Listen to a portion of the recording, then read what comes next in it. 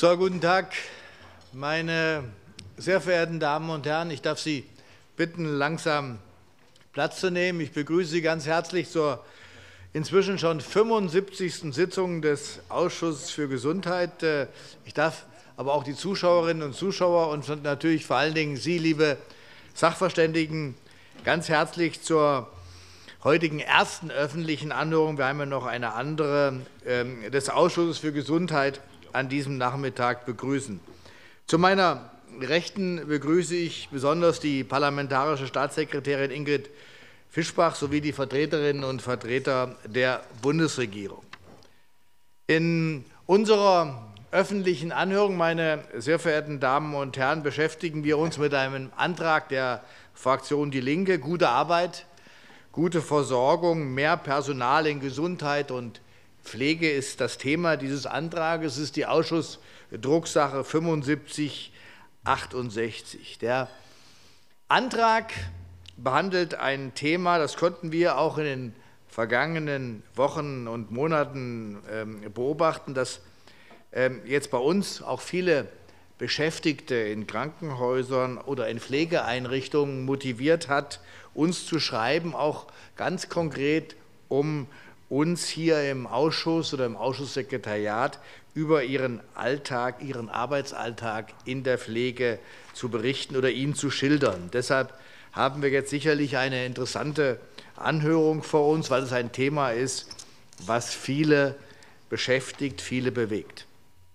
Zu Beginn der Anhörung einige Erläuterungen zum Anhörungsverfahren. Wir haben insgesamt eine Stunde zur Verfügung und die Fraktionen werden bei Antragsanhörungen, das ist eine Neuerung, abwechselnd ihre Fragen stellen. Immer nur eine Frage pro Fraktion. Die erste Fragerunde beginnt mit der CDU-CSU, dann folgt die SPD und dann nochmals die CDU-CSU und dann folgt die Fraktionen Die Linke und Bündnis 90 Die Grünen. In der zweiten Runde geschieht das im selben Rhythmus mit der Ausnahme, dass die SPD in der zweiten Fragerunde genau wie die CDU ein zweimaliges Fragerecht hat. Runde 1 und 2 folgen dann im Wechsel. Ich darf die Fragenden und Sachverständigen bitten, ähm, die Antworten möglichst kurz zu halten. Das sage ich jedes Mal, aber es ist manchmal ein bisschen schwierig, damit alle Sachverständigen äh, auch drankommen. Ich darf auch die Sachverständigen bitten, bei der Beantwortung der Frage, weil wir das alles aufzeichnen, die Mikrofone zu benutzen und sich immer mit Name und Verband vorzustellen. Es gibt auch bei der einstündigen äh, Anhörung immer Personen, die sich, die sich die Anhörung in Ausschnitten anschauen. Dann können Sie den einzelnen Sachverständigen auch äh, einer Organisation, einer Hochschule oder was auch immer zuordnen. Ich bitte Sie auch wie immer, die Mobiltelefone auszuschalten und ich verweise auch noch darauf, dass wie immer die Anhörung heute sogar live im Parlamentsfernsehen übertragen wird. Sie können sich auch das in der Mediathek des Bundestages noch mal anschauen. Äh, wir veröffentlichen auch immer ein Wortprotokoll auf der Internetseite des Ausschusses. Meine sehr verehrten Damen und Herren, liebe Zuschauerinnen und Zuschauer, wir beginnen ähm, mit der ersten Fragesteller, und das ist die CDU-CSU. Michael Henrich, der Obmann, stellt die erste Frage. Ich habe eine Frage an den Herrn äh, Dr. Scheik als Einzelsachverständigen und an die Deutsche Krankenhausgesellschaft. Der Bundestag hat ja schon zahlreiche Maßnahmen beschlossen, um auf eine Verbesserung der Personalausstattung in Krankenhäusern hinzuwirken. Wenn Sie uns einfach mal kurz äh, die Wirkung der bereits erfolgten Maßnahmen äh, zur Förderung von Pflegestellen äh, darlegen könnten und vielleicht auch eine Bewertung unterziehen. Herr Henrich, Sie haben jetzt zwei. Wir machen immer nur einen, erst weil wir es abwechselnd machen. Wer soll denn, wer soll die Frage beantworten? Weil die zwei jetzt. Dr. Schreiök. Okay, Herr Professor Schreiök, bitte. Ja, vielen Dank. Ähm, also zunächst mal wurde ja im Rahmen des ähm, Krankenhausstrukturgesetzes wurde ja ähm, unter anderem beschlossen, dass das Pflegestellenförderprogramm kommen soll und der umgewandelte Versorgungszuschlag Beides beide Gelder werden ja zur Förderung der Pflege eingesetzt und die Expertenkommission Pflege soll ja unter anderem darüber beraten, wie diese Gelder eben mittel- bzw. langfristig eingesetzt werden, um die Pflege gezielt zu stärken. Und hier Ähm, also aus meiner Sicht ist das schon ein wichtiger Punkt, um die Pflege, um die Bedeutung auch der Pflege zu stärken. Und ähm, ich würde es besonders für wichtig erachten, und das ist ja auch die Aufgabe der Expertenkommission Pflege, hier, dass die Gelder so einzusetzen, dass sie natürlich den größten Nutzen stiften. Dankeschön. Die nächste fragestellende Fraktion ist die SPD. Frau Mattheis. Herzlichen Dank, Herr Vorsitzender. Ich habe eine Frage an Verdi. Ich sehe jetzt, ah, da, wunderbar. Ich habe Sie nicht gesehen. Guten Tag. Die Neonatologie-Richtlinie des GBA ist unserer Auffassung nach ein gelungenes Beispiel dafür, wie Personalbemessung für Akutkliniken ausgestaltet sein kann. Ähm, welche weiteren pflegesensiblen Versorgungsbereiche gibt es Ihrer Ansicht nach und wie könnten dort Vorgaben für die Personalbemessung möglichst schnell umgesetzt werden? Verdi, bitte. Vielen Dank für die Frage. Grit Genster, Gewerkschaft Verdi. Solche Personalverhältniszahlen sind eine Möglichkeit, schnell zu Verbesserungen zu kommen. Allerdings sind schnelle Lösungen auch selten perfekt. Ähm, dennoch können sie die Versorgungsqualität sichern und die notwendige Entlastung für die Beschäftigten in der Pflege bringen. Die Expertenkommission, Herr Professor Schreik hat sie gerade schon genannt, muss aus unserer Sicht rasch noch in dieser Legislatur die richtigen Weichen stellen und Empfehlungen dürfen nicht auf die lange Bank geschoben werden. Wenn für wenige pflegesensible Bereiche Vorgaben gemacht werden, birgt das allerdings aus unserer Sicht die Gefahr, dass Verschiebebahnhöfe ausgelöst werden. Das heißt, Personal wird aus anderen Bereichen abgezogen. Empfehlungen der Expertenkommission müssen deshalb das gesamte Krankenhausgeschehen in den Blick nehmen. Es darf keine Verschlechterungen geben dadurch, dass es an anderen Stellen Lösungen gibt.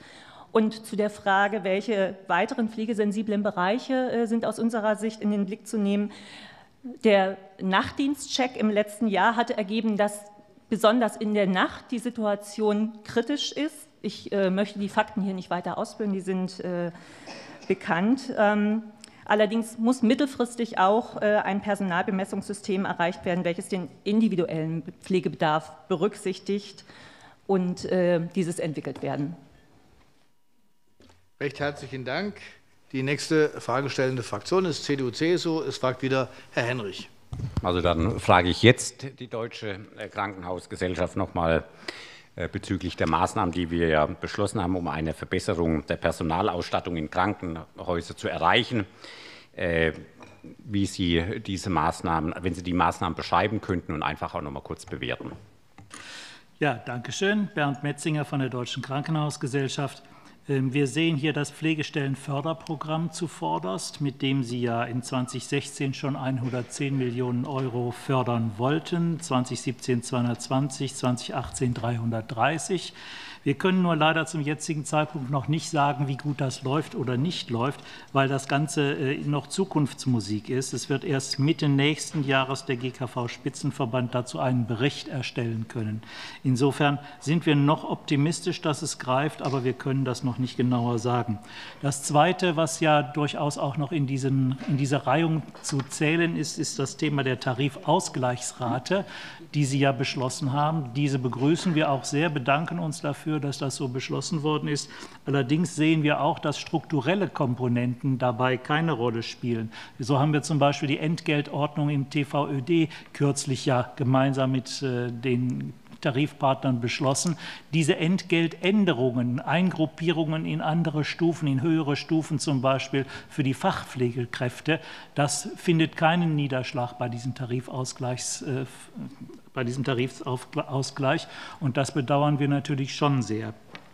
Das mit der Umwandlung des Versorgungszuschlags in den Pflegezuschlag ist ja äh, etwas, was wir auch prinzipiell begrüßen, denn besser, es ist weg, äh, besser als dass es weg ist, ist es ein Pflegezuschlag geworden. Aber man muss ja schon sagen, dass die entsprechende Summe hier von der linken Tasche in die rechte Tasche gepackt worden ist. Wie gesagt, das ist besser, als wenn sie aus der linken Tasche nur rausgepackt worden wäre. Aber so richtig befriedigend ist das nicht. Also dadurch ist nicht mehr Geld im System. Dankeschön. Jetzt ist die Fraktion Die Linke dran. Ich glaube, Harald Weinberg ist der erste Fragesteller. Ja, vielen Dank, Herr Vorsitzender. Das ist genau richtig. Äh, Das, meine Frage geht an Frau Dr. Wittek. Und zwar, wir haben ja in dem Antrag äh, die Zahl drin von 100.000 zusätzlichen notwendigen Pflegekräften in Deutschland. Wie beurteilen Sie diese Zahl? Und vielleicht können Sie auch noch mal kurz auf die Frage der Wirksamkeit der Maßnahmen, die da jetzt gerade auch angesprochen worden sind, in dem Zusammenhang eingehen. Herzlichen Dank für das Wort. Äh, Pia Witek ist mein Name. Ich äh, bin auch Vertreterin der Fachgesellschaft Profession Pflege, die sich genau mit den Fragestellungen Qualität und Entwicklung in der Pflege, Qualitätsentwicklung in der Pflege beschäftigt.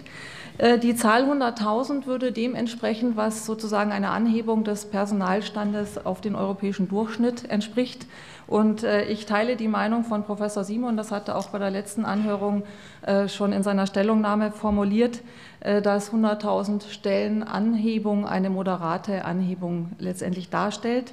Und ich denke, dass es auch ganz wichtig ist, weil wenn sich die aktuelle Follow-up-Studie anschauen, die Neuauflage der RNA-4K-Studie von der TU München, äh, TU Berlin, Entschuldigung, äh, dann werden Sie sehen, dass sich genau die Zahlen Arbeitsunzufriedenheit erhöht haben. Also wir sind hierbei fast jede zweite Mitarbeiterin in der Pflege äußert, dass sie mit ihrer Arbeit unzufrieden ist. 36 ähm, Prozent der Mitarbeiter haben vor, den Beruf zu verlassen und die Hälfte davon möchte nicht mehr in der Pflege arbeiten.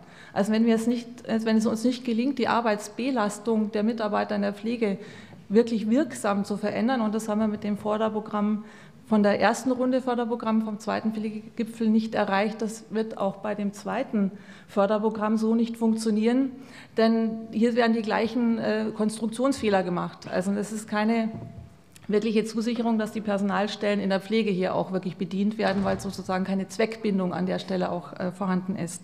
Also das sind Dinge, die ich kritisch sehe und ich denke, wir müssen uns gut überlegen, sowohl die Anhebung der Personalstellen ins Auge zu nehmen und inhaltliche Umgestaltung der Arbeit, weil die Mitarbeiter- und Arbeitszufriedenheit hat auch was mit der inhaltlichen Ausgestaltung zu tun, also nicht nur Satz-Sauberversorgung, wo Mitarbeiter täglich in ein Dilemma kommen und rationieren müssen, sondern es geht darum, wie schaffen wir es, dass Mitarbeiter inhaltlich auch das zeigen können, was Pflege an Wertschöpfung leisten kann, nämlich therapeutisch aktivierend Pflege, Pflegetätigkeit auch gestalten zu können.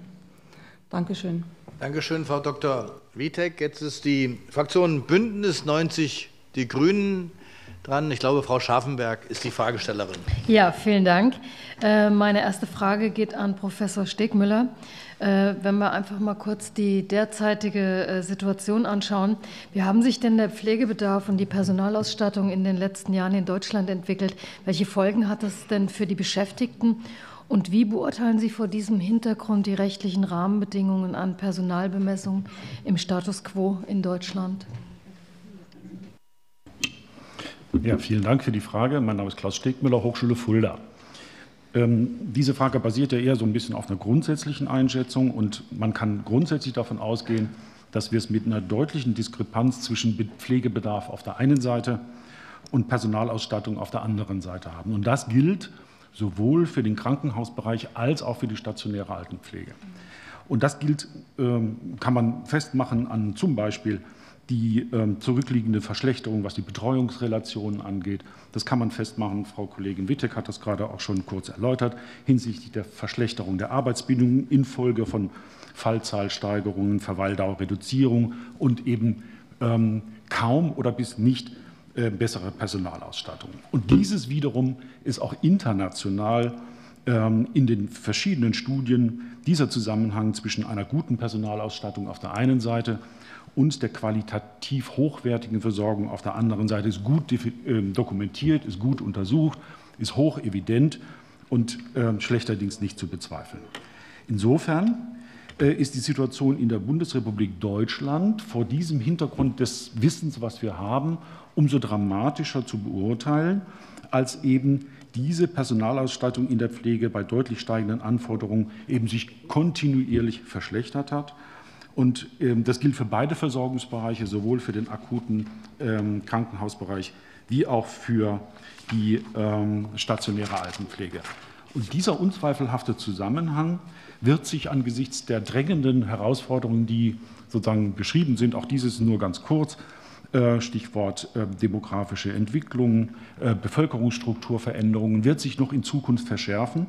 Und es ist überhaupt nicht einsichtig, warum die genannten Instrumentarien, Expertenkommissionen und so weiter und so fort, was schon genannt sind, dass diese sozusagen nicht ähm, schon längst umgesetzt ist in eine Situation, wo die Versorgung und Betreuungsqualität sozusagen der entscheidende Maßstab für eine vorausschauende Politik ist.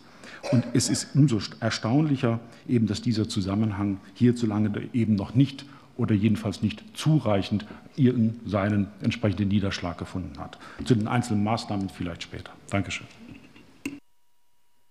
Dankeschön, Herr Professor Stickmüller. Jetzt ist die CDU-CSU dran. Herr Mayer. Vielen Dank, Herr CSU. Vorsitzender. Für die CSU, genau. Äh, es dreht sich alles um die Vollzeit, äh, äh, ja, gesamte CDU-CSU-Bundestagsfraktion, die ja sehr geschlossen und einig ist. Ähm, ich habe eine Frage an den GKV-Spitzenverband. Wie bewerten Sie die Forderung der Antragsteller, kurzfristig Maßnahmen zur Schaffung von mindestens 100.000 Vollzeitstellen in der Pflege zu treffen? Ja, lieber GKV-Spitzenverband, vielleicht zunächst eine Bemerkung zur demografischen Entwicklung. Seit 1991 hat sich das Durchschnittsalter der Bevölkerung um ungefähr 12 Prozent erhöht. Die Anzahl der belegten Krankenhausbetten ist um 30 Prozent zurückgegangen. Es ist fast so, als ob man sagen kann, je älter die Bevölkerung ist, desto weniger liegt sie im Krankenhaus. Sie liegt woanders. Sie liegt in den Pflegeheimen. Dort geht die Bettenanzahl hoch. Dort geht vielleicht auch der Pflegebedarf hoch. Wir, der Ort der Pflege verschiebt sich von Krankenhäusern in stationäre Pflegeeinheiten. Und insofern wäre es absolut kontraindiziert, im Krankenhaus den Pflegebereich auszubauen. Andere Staaten, das zeigt der internationale Vergleich, ähm, sind da schon sehr viel weiter. Bei uns hat sich übrigens die Belastungsziffer, also Anzahl der belegten Betten je ähm, Vollkraft verringert von 8,5 auf 6,0. Die Anzahl der Fälle ist mehr geworden, aber die Anzahl der gleichzeitig zu betreuenden Betten ist weniger geworden. Nun gibt es im Ausland ähm, andere Beispiele, wo wir sehr viel weniger Patienten je Pflegekraft haben. Das scheint uns genau der richtige Ansatz, wenn Sie zum Beispiel Norwegen haben. Weniger Patienten je Pflegekraft. Wir haben mehrere Millionen Fälle in Deutschland, die in Norwegen alle ambulant behandelt würden, die hier zur Belastung des Pflegepersonals beitragen, die aber an anderer Stelle ähm, anders versorgt werden. Insofern ähm, sehen wir einen zweifachen Ansatz. Wir müssen sehen, dass wahrscheinlich in Pflegeheimen ein erhöhter Bedarf an Pflege ist. Und wir müssen sehen, dass in, in der ambulanten Versorgung das versorgt wird, was wir im Augenblick als Fehlbelegung im Krankenhaus haben. Vielen Dank. Dankeschön, Leber. Frau Kermer von der SPD ist die nächste Fragestellerin. Vielen Dank, Herr Vorsitzender. Meine Frage geht an Dr. Metzinger, Deutsche Krankenhausgesellschaft. Ähm, die ausreichende personelle Ausstattung von Stationen allein ist kein Garant für optimale Versorgungsqualität. Das bedeutet, dass verbindliche Personalstandards möglicherweise zwar zu einer Erhöhung der Pflegestellen führen, dennoch aber die Qualität der Pflege nicht verbessert wird. Welche weiteren Stellschrauben zur Verbesserung der Versorgungsqualität in Krankenhäusern sind zu beachten? Ja, vielen Dank für diese Frage. Bernd Metzinger, Deutsche Krankenhausgesellschaft. Sie haben recht, dass die Zahl der Pflegekräfte alleine nicht das Einzige ist, was die Pflege verbessert. Sicherlich ist es so, dass äh, die Qualität und die Anzahl der Pflegekräfte pro Patient äh, eine gewisse Korrelation haben, aber das alleine reicht nicht. Wir müssen vor allen Dingen versuchen, die Pflegekräfte und auch die Ärzte wieder das machen zu lassen, wofür sie sich eigentlich haben ausbilden lassen, nämlich Pflege am Patienten durchzuführen und Behandlung des Patienten durchzuführen. Wir kennen die Studie von äh, Nuance und HIMSS, äh, in der deutlich wird, dass Ärzte täglich vier Stunden und Pflegekräfte täglich drei Stunden ihrer Arbeitszeit mit Dokumentation verbringen. Das ist nicht das, wozu ein Arzt Arzt geworden ist und das ist auch nicht das, wozu eine Pflegekraft Pflegekraft geworden ist. Dokumentation lässt sich nicht völlig vermeiden, aber der Dokumentations-Overkill, den wir im Moment nicht nur in den Kliniken, sondern auch in anderen Bereichen haben, das ist etwas, was wir dringend dringend zurückführen müssen. Wir haben dadurch dann mehr Zeit für die Patienten. Das ist das, was wir wollen und was auch alle unsere Mitarbeiter wollen. Und äh, es stehen einfach äh, dann mehr Pflegekräfte und mehr Ärzte pro Patient in Stunden zur Verfügung. Also wir müssen dringend den Bürokratieabbau vorantreiben. Das Zweite, was wir tun können, ist das Thema Job Enrichment. Das heißt, wir müssen dafür sorgen, dass Pflegekräfte mehr, noch mehr als bisher Aufgaben aus dem ärztlichen Bereich übernehmen können. Das geht aber nur dann, erstens, wenn die das wollen. Die sind aber sehr motiviert, zumindest mhm. viele davon, und auch entsprechend gut ausgebildet.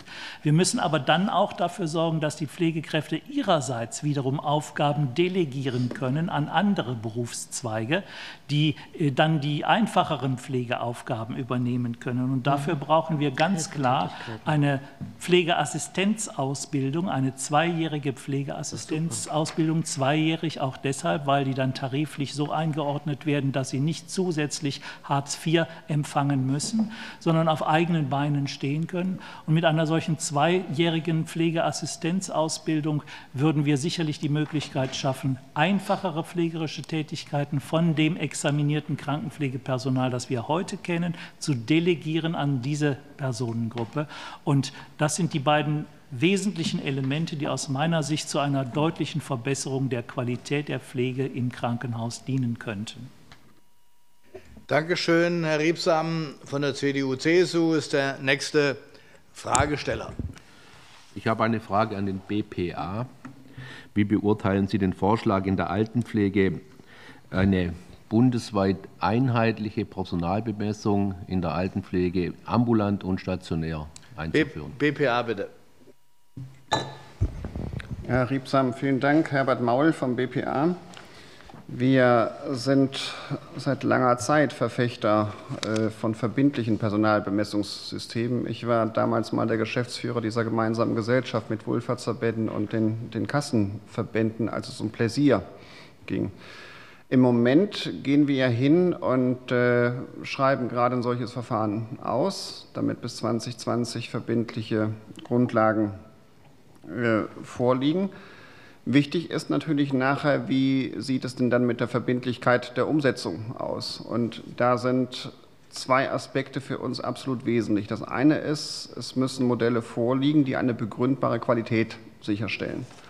Der zweite Punkt, den ich aber auch erwähnen möchte, ist, es muss natürlich so sein, dass wir auch der demografischen Herausforderung gerecht werden. Es macht ja keinen Sinn zu sagen, wir stellen einen Standard fest und rationieren anschließend die Zahl der Pflegeplätze, sondern da werden wir uns an denen orientieren müssen, die pflegebedürftig sind. Und die Zahlen sind sehr eindeutig. Wenn von 2,5 auf 4 Millionen die Zahl der Pflegebedürftigen steigt, werden wir auch Lösungen brauchen, die diese demografische Entwicklung mit auffangen. Und äh, solche Lösungen, wie es in anderen Bereichen angedacht wird, werden auch bei uns notwendig sein, dass man sehr genau guckt, welche Qualifikation ist eigentlich an welcher, also bei welcher Aufgabe notwendig. Dort werden wir sehr viel Grundlagenarbeit jetzt durch, dieses, äh, durch diese Ausschreibung bekommen, die ja jetzt in Kürze vergeben wird. Ansonsten muss man sagen, dass in der Altenpflege in den letzten Jahren kontinuierlich eine Personalverbesserung durchgeführt wurde und auch durchs PSG 2 in vielen Ländern eine weitere Personalverbesserung beschlossen wurde. Dankeschön. Die SPD ist die nächste fragestellende Fraktion. Ich glaube, Frau Behrens stellt die Frage. Ja, meine Frage richtet sich an den äh, Herrn Leber vom GKV Spitzenverband. Welche Maßnahmen wurden bisher getroffen, um die Situation in der Pflege in den Krankenhäusern zu verbessern und um wie viel Geld für die Krankenhäuser geht es dabei? Äh, und vielleicht können Sie auch noch was sagen zu dem, was vorher gesagt wurde, äh, dass eben die bisher beschlossenen Maßnahmen nicht angekommen seien. Dr. Leber, bitte. Leber GKV Spitzenverband. Die, die, wichtigste Maßnahme war natürlich das Pflegestellenförderprogramm von 2009 bis 2011. Dort sind kumuliert ungefähr 1,1 Milliarden an die Krankenhäuser geflossen. Wir haben hier zu einen Bericht gemacht, der ausweist, ähm, dass dieses auch zu einer Aufstockung der Personalvollkräfte in Höhe von 13.000 ähm, ähm, Pflegekräften geführt hat. Wenn man es allerdings insgesamt in der Statistik überprüft, dann gab es an anderer Stelle einen Rückgang, sodass ähm, per Saldo ungefähr 9200 Vollkräfte zusätzlich ähm, geschaffen worden sind. Ähm, dieses Geld fließt weiterhin an die Krankenhäuser. Das Geld fließt also äh, hoffentlich auch in den Pflegebereich. Ähm, eine direkte Verwendungsauflage gibt es dazu natürlich nicht. Wir haben gleichwohl ein wenig Kritik an diesem Pflegestellenförderprogramm. Es belohnt diejenigen, die die Pflege drastisch nach unten gefahren haben und dann während des Förderzeitraums wieder aufgebaut haben. Diejenigen, die immer gute Pflege gemacht haben, kriegen keinen einzigen Cent. Und diese selbe Kritik ist natürlich jetzt auch auf das neue ähm, Programm anwendbar, wo eben nicht unbedingt die richtigen ähm, Krankenhäuser in den Genuss der Gelder kommen.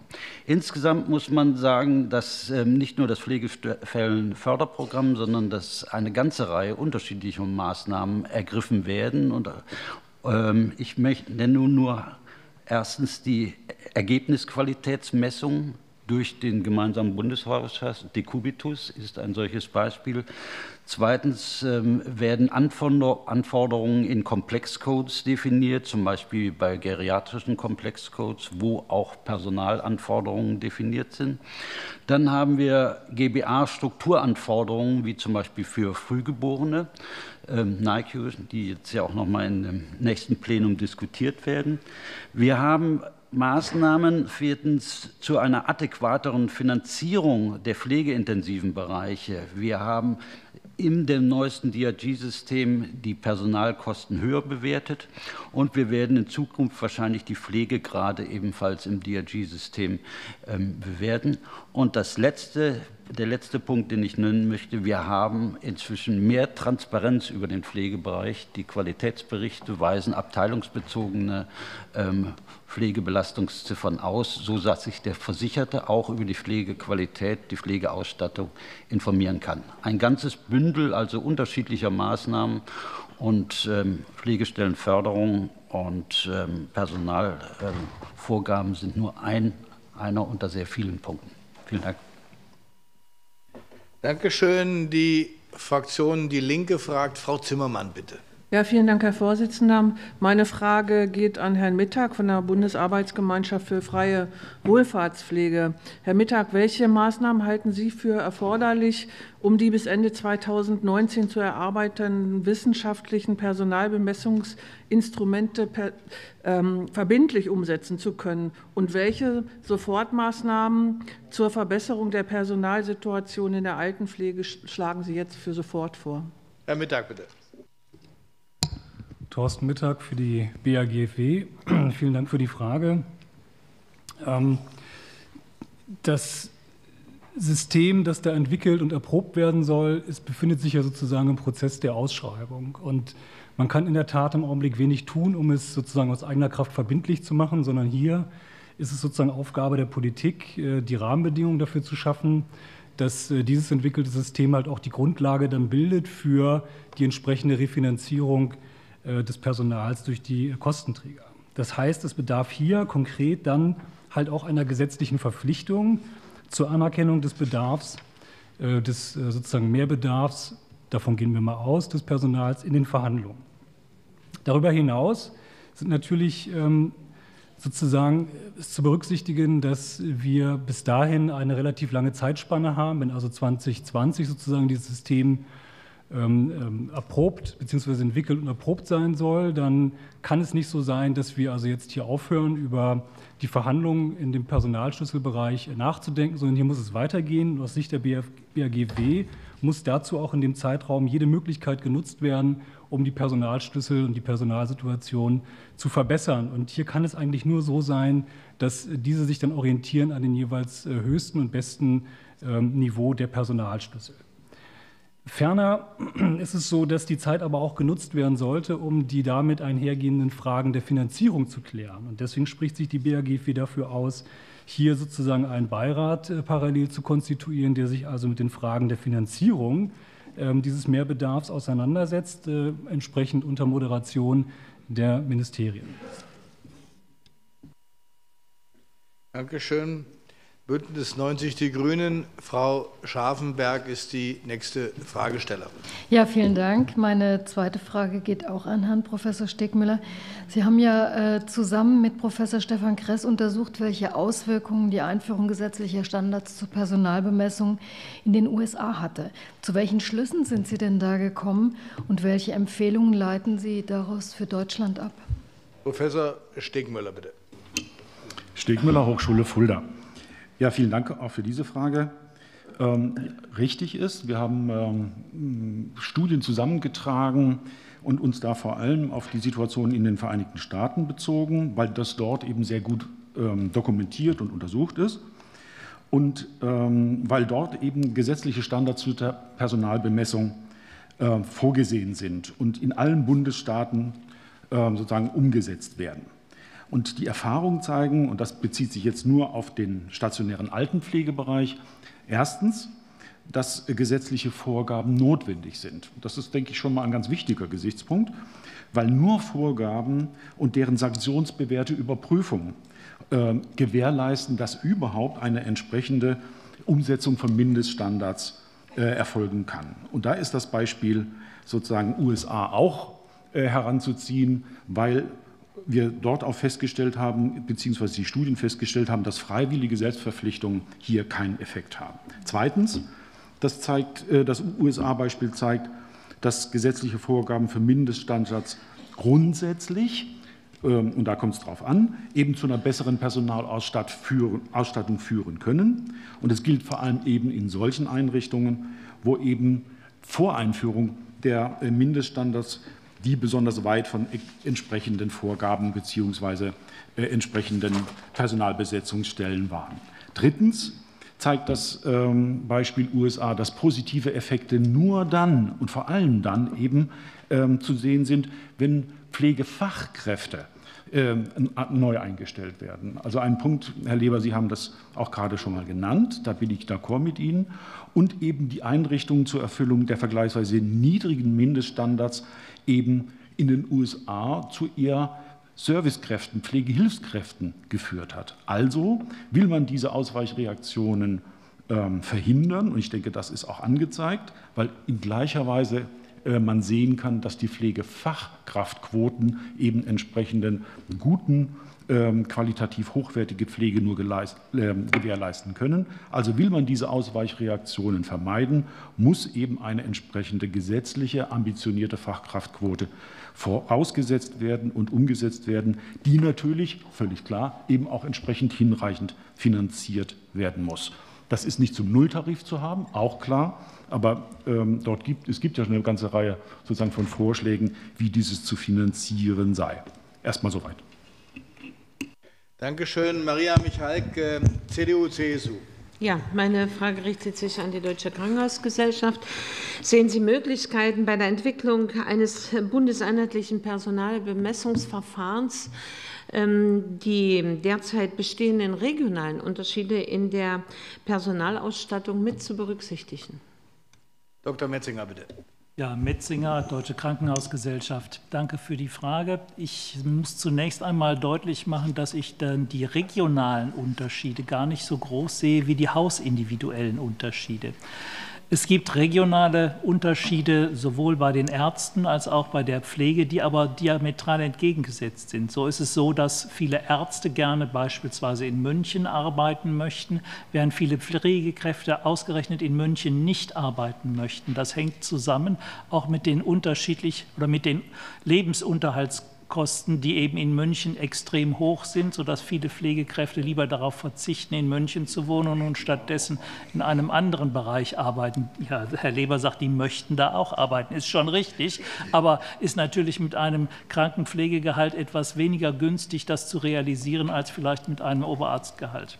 Aber das ist jetzt ein Thema, das, glaube ich, äh, an der Stelle eine gewisse Rolle spielt. Ich glaube aber, dass die individuellen Gegebenheiten der Krankenhäuser eher diejenigen sind, die dann tatsächlich bestimmen, ob denn äh, bei, bei Personal, Personalbemessungsverfahren tatsächlich Unterschiede bestehen müssen oder nicht. Und da sehe ich Unterschiede beispielsweise in der technischen Ausstattung, in der baulichen Ausstattung von Krankenhäusern, aber auch in der Aufteilung von bestimmten Arbeitstätigkeiten unter verschiedenen Berufsgruppen. Das können Krankenhäuser unterschiedlich ausgestalten. Und da sehe ich dann tatsächlich schon, dass es notwendig ist, aus diesem Grund individuelle Personalausstattungen für die Krankenhäuser zu schaffen. Das geht natürlich mit bundesweiten einheitlichen Personalbemessungsinstrumenten nicht so gut, vorsichtig ausgedrückt, sondern das ist die originäre hoheitliche Aufgabe eines jeden Krankenhauses selber. Und daher halten wir von solchen generalisierten, generalistisch angegangenen Personalausstattungsbemessungsinstrumenten eigentlich sehr wenig und sagen, so etwas kommt höchstens für besonders pflegesensible Bereiche in Frage. Da sehen wir die Frühgeborenen, da sehen wir möglicherweise auch andere Intensivtherapiestationen. Also das sind die Bereiche, für die wir uns so etwas auch vorstellen können. Aber alles andere ist aus unserer Sicht eher nicht geeignet für generell anzugehende bundesweit einheitliche äh, Vorgaben für Personalstrukturen. Dankeschön. Die SPD ist jetzt dran. Frau Müller. Ja, vielen Dank, Herr Vorsitzender. Ich habe eine Frage an den GKV-Spitzenverband. Wie beurteilen Sie die Forderung der linken Qualität als Planungskriterium in der Krankenhausplanung der Länder zu berücksichtigen? GKV-Spitzenverband. Lieber GKV-Spitzenverband, wir haben das Gefühl, bei dem Begriff qualitätsorientierte Planung wird die Planung überschätzt. De facto findet die, finden die Entwicklungen im deutschen Krankenhausmarkt äh, ziemlich unabhängig von der Planung statt, erst recht sämtliche qualitätsorientierten Entscheidungen. Ähm, Richtiger müsste man, glaube ich, von Marktregulierung sprechen, denn die einzelnen Entscheidungen werden nicht planerisch getroffen, sondern im Wesentlichen von den Akteuren, von den Krankenhausträgern. Dort sehen wir es als notwendig in Richtung marktregulierend einzugreifen, indem wir Mindeststandards in bestimmten Bereichen definieren, indem wir vielleicht auch sogar definieren, welches Krankenhaus unbedingt notwendig ist. Wir haben gerade letzte Woche im GBA eine Entscheidung über Sicherstellungszuschläge getroffen, die nichts anderes ist als Marktregulierung. Das heißt, wir würden ähm, weiter fordern, diese Marktregulierungsbemühungen zu intensivieren. Sie laufen im Augenblick nur unter der falschen Überschrift qualitätsorientierte ähm, Planungsvorgaben. CDU, CSU, Dr. Kippels ist der nächste Fragesteller. Herzlichen Dank. Die Frage richtet sich an den BPA, Herrn Maul. Mit Verweis auf das Patientenwohl und die bestmögliche Versorgungsqualität fordern die Antragsteller die Beendigung des wirtschaftlichen Wettbewerbs und der Möglichkeit, Gewinne zu erzielen. Bitte schildern Sie, welche Auswirkungen dies für die Pflegeeinrichtungen privater Träger und der von diesen versorgten Pflegebedürftigen hätte. Ja, BPA, das ist natürlich eine Vorlage jetzt. Ja, vielen Dank, Herr Kippels. Herbert Maul vom BPA. Man muss vielleicht vorweg schicken, wir stellen mittlerweile 50 Prozent der Grundversorgung mit privaten Trägern. Und der Hintergrund ist natürlich, dass die Länder zwar die Verpflichtung haben, dass sie die institutionelle Förderung sicherstellen sollen, sich aber daraus zurückgezogen haben. So in die Breche gesprungen sind die privaten Träger in der wettbewerblichen Ausgestaltung, die im Übrigen auch für einen heftigen Personal- und Qualitätswettbewerb gesorgt hat. Das ist ja äh, nicht von der Hand zu weisen, und zwar im Sinne einer Qualitätsverbesserung. Wenn man jetzt sagen will, wir drehen das Rad zurück, dann glaube ich, muss man schlichtweg sagen, die Versorgung würde, wäre zunächst mal nicht mehr sichergestellt.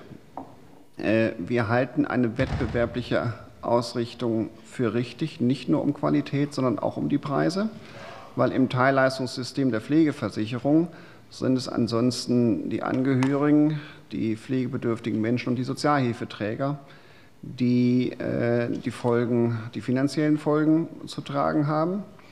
Und äh, in dem Zusammenhang können wir ja auch belegen, dass die privaten Träger sich nicht nur in wenigen Regionen betätigen. Bei 50 Prozent Marktanteil wäre das durchaus auch schwierig, sondern wir sichern das Essen auf Rädern auch in der Uckermark beispielsweise oder in anderen Gebieten, wo ansonsten sich sehr viele zurückziehen.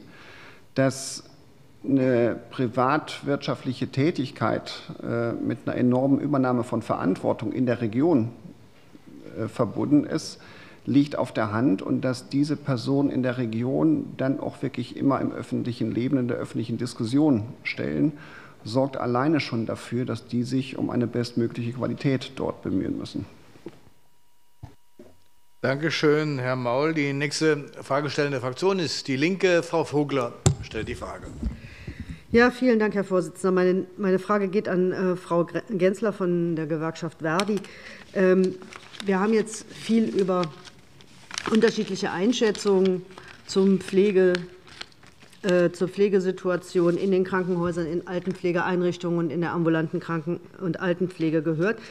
Ähm, da möchte ich von Ihnen gerne noch mal so ein bisschen praktische Expertise hören. Ähm, was berichten denn Pflegekräfte über ihren Alltag? Was berichten Sie darüber, welche mit welchen Schwierigkeiten Sie konfrontiert sind? Was wünschen Sie sich von der Politik? Und ähm, Sie haben ja auch als Gewerkschaft Sofortmaßnahmen für die Pflegebeschäftigten aufgestellt. Welche sind denn da die wichtigsten und wie könnte man das finanzieren? Verdi, bitte. Das war ein ganzer Strauß von einer Frage. Ich versuche das alles gut abzudecken. Grit Gensler, Gewerkschaft Verdi, vielen Dank für die Frage. Der zentrale Punkt ist ja, dass äh, ohne verbindliche Vorgaben für das Personal das fast keinen Boden hat und äh, die Bedingungen für die Beschäftigten immer schlechter werden und äh, Versorgungsqualität eben nicht gesichert ist. Arbeit im Krankenhaus, aber auch in der stationären Pflege, in der ambulanten Pflege darf Beschäftigte nicht krank machen und Patientinnen und Patienten im Krankenhaus müssen sich auf eine sichere und gute Versorgung verlassen können. Gerade um dem Fachkräftemangel ähm, äh, etwas entgegenzusetzen, müssen Krankenhäuser und Pflegeheime attraktive Arbeitgeber sein. Und ähm, dafür ist eine Entlastung unbedingt und sehr kurzfristig notwendig, um gutes Personal ähm, zu gewinnen und die Arbeit auch gut zu gestalten. In der Pflege, aber im Übrigen auch in anderen Berufsgruppen. Ähm, wir haben festgestellt, der Markt richtet es eben nicht. Ähm, mein Eindruck ist, durch den Wettbewerb haben sich die Bedingungen verschlechtert, insbesondere wenn ich mir die Altenpflege ansehe und sehe, dass wir kaum Tarifverträge haben, kaum Tarifbindung vorliegt, das äh, nicht die Normalität ist. Deshalb muss der Gesetzgeber mit Rahmenbedingungen entsprechend reagieren. Sie haben mich gefragt nach praktischen Berichten. Ich denke, da können die Beschäftigten selbst am besten berichten. Äh, wir haben ja einige äh, unaufgeforderte Stellungnahmen vorliegen, die sehr eindrücklich schildern, wie der Alltag auf der Station stattfindet. Ich möchte ein sehr drastisches Beispiel schildern. Ähm, wir haben ein Plakat, äh, was fragt, heute schon Pause gemacht. Und darauf hat jemand mit Filzstift notiert, nein, leider nicht. Ist aber auch nicht schlimm. Ich konnte auch nicht trinken, deshalb musste ich auch nicht aufs, auf die Toilette. Hat was anderes geschrieben. Also ich finde, es ist schon ein sehr eindrückliches Beispiel dafür, wie die Situation ist. Ähm, dem Fachkräftemangel ist am besten zu begegnen, indem die Arbeitsbedingungen und die Ausbildungsbedingungen attraktiver gestaltet werden. Insbesondere geht es in der Altenpflege darum, dass auch Vollzeitarbeitsplätze zur Verfügung gestellt werden. Wir wissen aus den östlichen Bundesländern, dass dort äh, nur die Hälfte der Bewerber einen Vollzeitarbeitsplatz angeboten bekommen.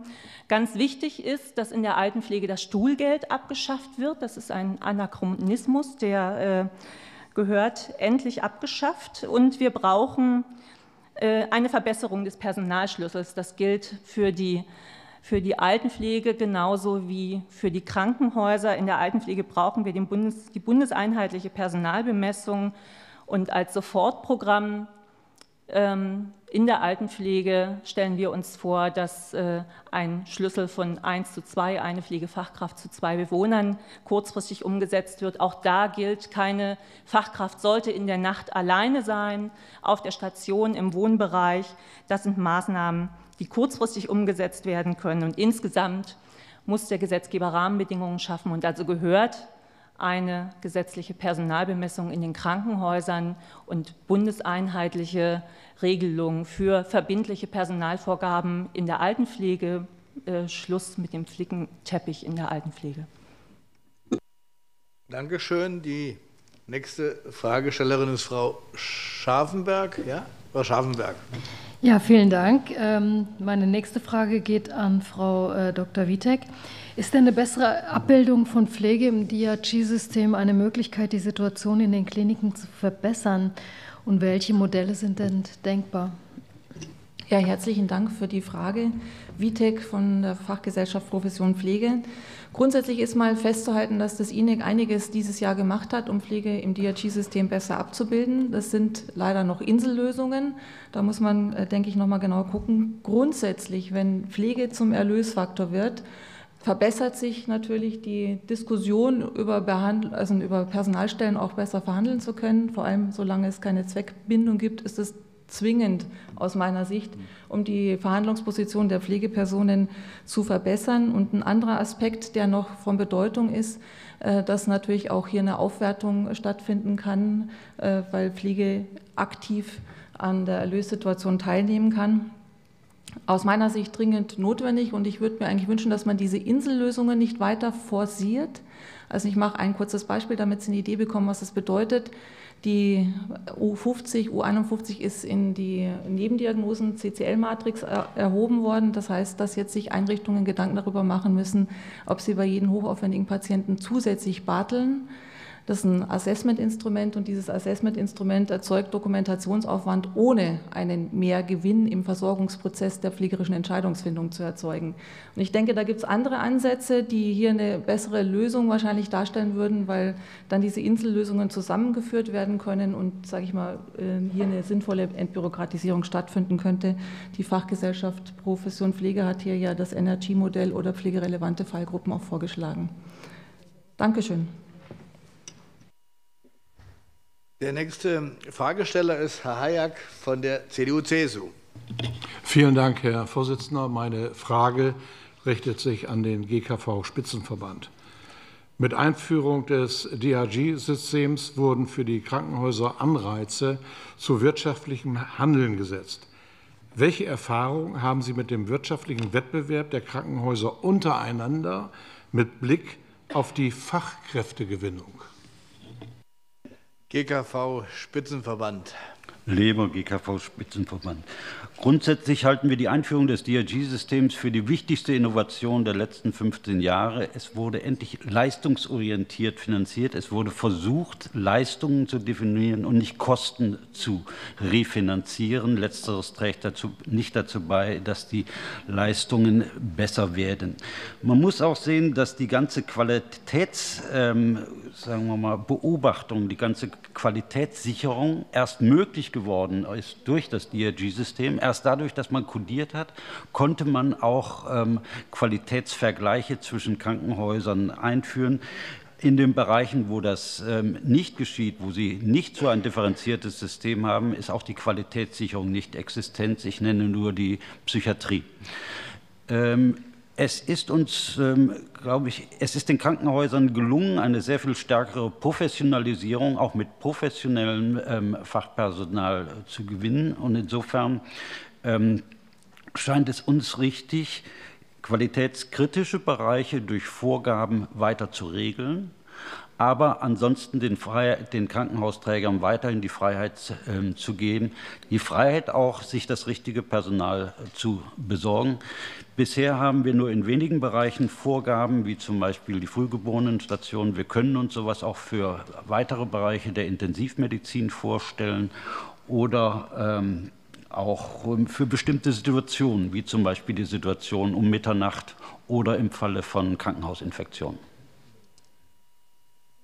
Dankeschön, Frau Dittmar von der SPD ist die nächste Fragestellerin. Ja, danke schön. Meine Frage richtet sich an Verdi, geht nochmal um Versorgungsqualität und personelle Ausstattung.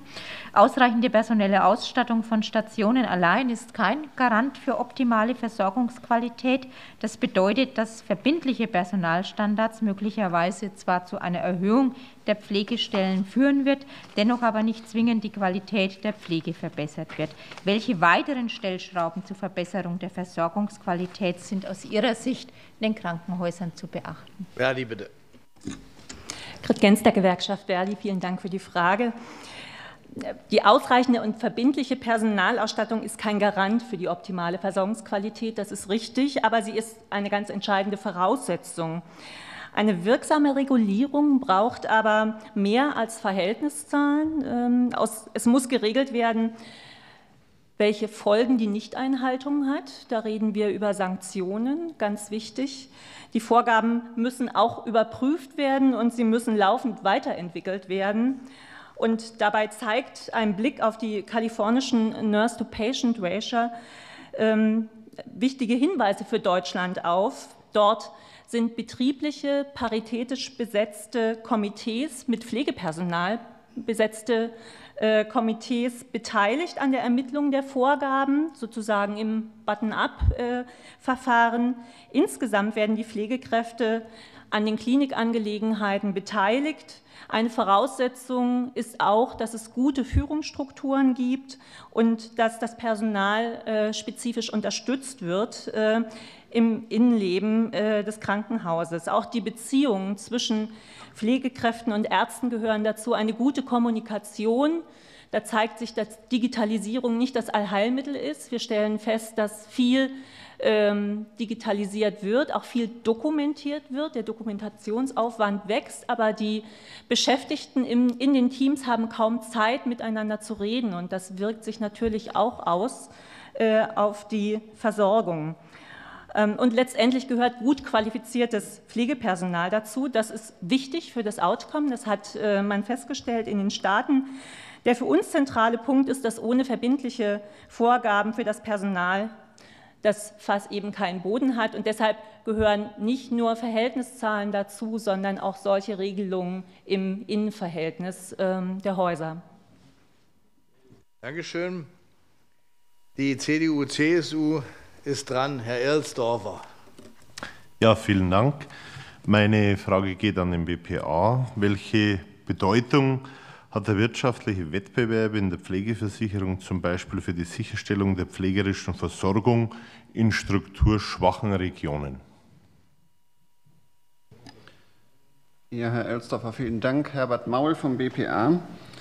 Ähm, wir haben eine Studie in Auftrag gegeben bei Herrn Professor Rothgang, weil wir schlichtweg mal wissen wollen, wie ist denn die Verteilung und wo sind die Privaten? Es ist natürlich bei 50 Prozent Marktanteil so, dass sich das nicht auf wenige Ballungsräume konzentriert und dass wir auch nicht diejenigen sind, die Seniorenresidenzen äh, anbieten und ansonsten für die Grundversorgung äh, nicht zur Verfügung stehen. Wir sichern das Essen auf Rädern in der Uckermark und sonst wo. Dort gibt es meistens kleinere Dienste. Wir haben sowohl kleinere Pflegedienste, die also auch regional anders aufgestellt sind, eingebunden sind, als auch kleinere Einheiten bei den Pflegeheimen, sodass wir weg von den Metropolen eben auch sehr stark in den sehr ländlichen Regionen vertreten sind.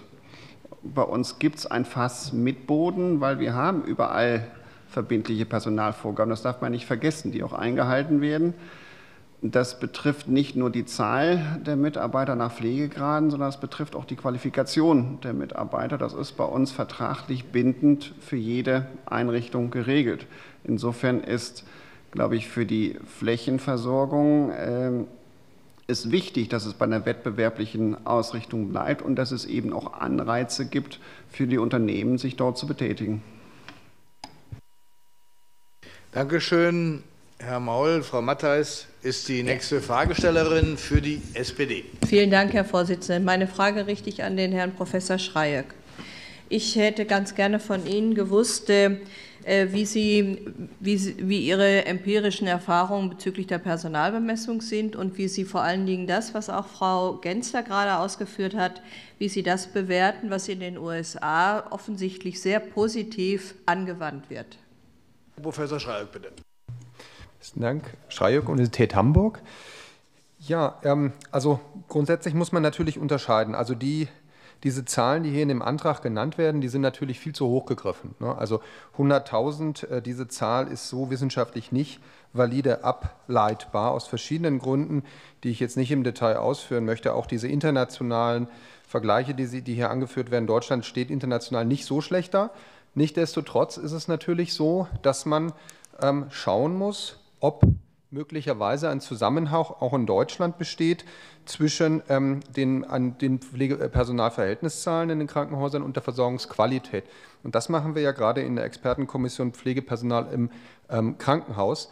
Kalifornien kann hier tatsächlich, wenn man konstatieren kann, also wenn man empirisch nachweisen kann für Deutschland, dass hier ein Zusammenhang besteht zwischen, also dass man ein Mehr an Pflegepersonal auch tatsächlich bedeutet, dass die Versorgungsqualität steigt, dann ist natürlich tatsächlich Kalifornien hierfür eine gute Vorlage, denn international ist es tatsächlich, muss man konstatieren, ist es tatsächlich so, dass dieser Zusammenhang schon gezeigt werden konnte, vor allen Dingen für die USA, aber auch ähm, für andere Länder. Und insofern ähm, muss man sagen, also Personalverhältniszahlen können tatsächlich die Qualität für bestimmte Bereiche erhöhen. Allerdings muss man hier schon zwischen verschiedenen Bereichen, das wurde ja auch schon verschiedentlich angesprochen, unterscheiden. Das heißt, man muss schon zwischen den Fachabteilungen differenzieren. Es bringt relativ wenig, im, für den gesamten Krankenhausmarkt Unterstandards und Unterschwellen zu definieren, die dann einheitlich gelten, sondern man muss das schon differenziert sehen und das zeigt auch die internationale Evidenz. Für einige, einige Fachabteilungen sind pflegesensitiv und andere Fachabteilungen sind nicht pflegesensitiv.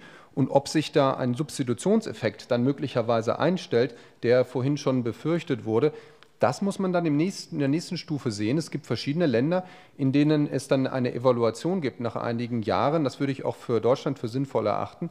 Und da kann man ja dann sehen, ob es eine, eine Substitution gibt, ob die Pflegekräfte in andere Abteilungen geschoben wurden und da dann abgebaut wurde. Das heißt, in nicht pflegesensitiven Abteilungen abgebaut wurde. Und Ähnliches würde ich dann in diesem Falle, falls man zum Schluss kommt, dass man Pflegeuntergrenzen für einzelne Fachabteilungen benötigt, auch für Deutschland empfehlen. Dankeschön, Herr Weinberg. Die Linke. Ja, vielen Dank, Herr Vorsitzender. Immerhin, was ich gerade gehört habe. Äh, meine Frage richtet sich nochmal an äh, Frau Dr. Wittek. Äh, mit dem Pflegestärkungsgesetz II wird ja das neue Begutachtungs, im neuen Begutachtungsverfahren ein stärker auf Selbstständigkeit und teilhabeorientiertes Pflegeverständnis eingeführt. Welche Veränderungen ergeben sich aus Ihrer Sicht halt, daraus für den Personalbedarf und welche Überlegungen hätten Sie, äh, um kurzfristig die Personalsituation zu äh, verbessern. Frau Dr. Wittek, bitte. Ja, herzlichen Dank für die Frage. Wittek, äh, Profession Pflegen. Grundsätzlich mal ist es zu begrüßen, dass der MBA eingeführt wurde und ähm, eine mehr teilhabeorientierte Ausrichtung bekommen hat, wobei man nicht dem Glauben unterliegen darf, dass sich dadurch in der Praxis was verändert. Das Begutachtungsverfahren alleine wird noch keine Auswirkung darauf haben, dass sich das Verhalten der Mitarbeiterin am Bett verändert und sozusagen eine teilhabeorientiertere Pflege stattfindet. Das wird sich erst dann einstellen, wenn auch der Anreiz geschaffen wird, dass Einrichtungen hier investieren, zum Beispiel die angedachte Ergebnismessung, die auf den MBA aufsetzt, weil dann sozusagen sichtbar wird, ob auch da investiert wird äh, von Seiten der Einrichtungen. Insofern äh, denke ich, muss man noch mal genau gucken, bezogen auf die Frage, was bedeutet es auf den Personalbedarf? Fakt ist, wir haben aktuell eine Unterbesetzung, um eine teilhabeorientierte und selbst auf Selbstständigkeit ausgerichtete Förderung der Bewohner zu realisieren in den stationären Einrichtungen. Und das wird sich nicht ändern, dadurch, dass ein, ein neuer Begutachtungsbegriff eingeführt wurde, sondern das ändert sich nur, indem wir die Patienten-Bewohner, äh, die Mitarbeiter-Bewohner-Relation verändern. Äh, hier, denke ich, muss man sukzessive so ansetzen, wie es von der Kollegin von Verdi vorgeschlagen wurde, systematisch aufstocken und parallel Qualitätsindikatoren platzieren, damit man auch sehen kann, welchen Effekt das auf die äh, Versorgung hat, zum Beispiel die Qualitätsmessung aufsetzen.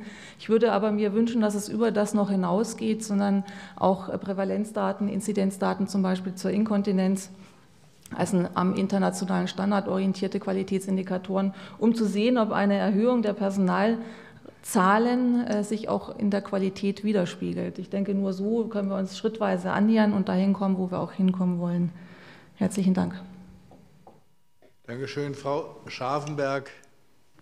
Ja, vielen Dank. Ähm, vermutlich meine letzte Frage äh, geht an Herrn Mitter von der BAGFW. Wie stehen denn die Verbände der Wohlfahrtspflege zu einer Vereinheitlichung der gesetzlichen und privaten Kranken- und Pflegeversicherungen? Welche Elemente sind denn aus Sicht der BAGFW für eine solche Bürgerversicherung grundlegend? Herr Mittag, das ist Ihre Frage. Ja, vielen Dank, Thorsten Mittag für die BAGFW.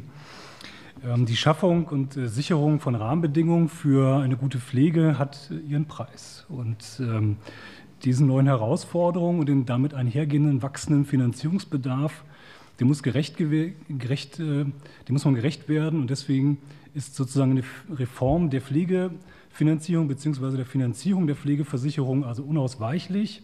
Und für ein solches Konzept zur Refinanzierung gehören sozusagen aus Sicht der BAGW mehrere Säulen, wenn es um die solidarische Versicherung geht. Das ist zum einen mal eine solidarische und paritätische Finanzierung, das wiederum in Verbindung mit, einer, mit einem einheitlichen Versicherungssystem, äh, mit einer risikounabhängigen Prämienbemessung und eben einheitlichen Rahmenbedingungen halt auch für alle Anbieter. Das wird äh, gemeinhin dann auch als Bürgerversicherung bezeichnet.